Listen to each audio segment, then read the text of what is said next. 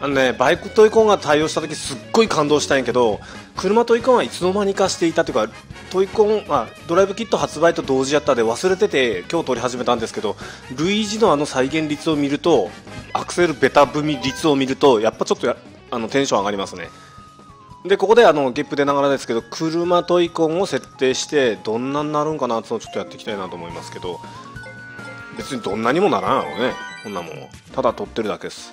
前どうやって撮ったっけ？200cc で撮ったよね？200cc に今カーソル当てたし。これででこれで走って、まあ、バイクを車で動かすの？そんなことできるんやったらできるわな。ただのトイコンやから。でキノコカップでいいんかな？OK あジョイコンをトイコンにセットし OK を押してくださいってこれね。なんやろ？ちょなんやろ？えっと、2017年3月2日までにはなかったこ言葉ばっかりが並んでるのが面白いね。セットしました。いろいろねこうセットのしやすさとかは改良されてるんですけどそれでもやっぱセットするのはねセットする前セットしながらも鍵取り込んで操作はできる穴も開いてるし鍵取り込むやけどもそれでもセットはしなあかん手間はあるよね。当たり前当たり前のことを今喋りました僕。さてアイテムとかどうやって使うこれ説明書あるのかな？ちょっと 今俺デジャブデジャブじゃない。なんつうのこれ？あれ？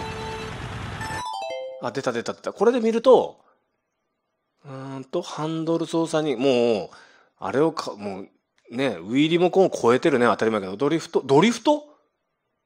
え？アクセル？ドリドリフトって深くするとドリフトなんか。あーむず。っえ？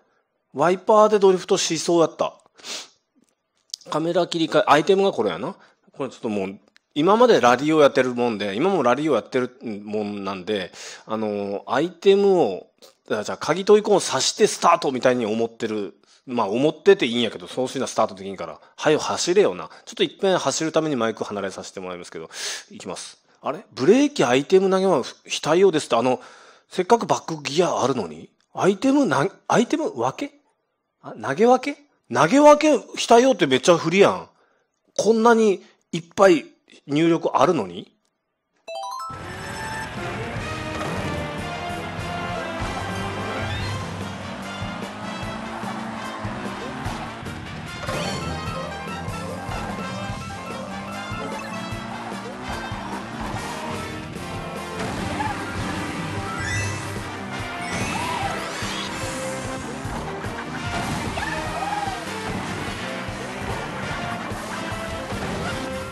はい、ちょっとすいません。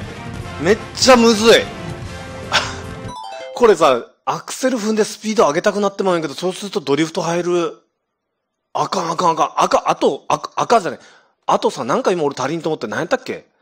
あアイテム投げ分けはバッ、投げ分けバックミラーは非対応ってなってるんですけど、うーんと、なんかも非対応やなと思いましたけどね。忘れちゃいました。何が非対応なのまあ、ちょっと、バイクトイコンのがいいな、これやったら。兄弟喧嘩になるわ、ルイージが。ルイージ張り切ってたけどね。張り切ってたけど、あれ兄弟喧嘩になるね。俺こっちのトイコン、つって。で、結局ジョイコンが一番やりやすいんですけど、こういう無理をしていく対応も僕は、あの、応援してますんで、まあ、ここを見ますと、これね、兄弟喧嘩にならんようにっていうことで、お願いします。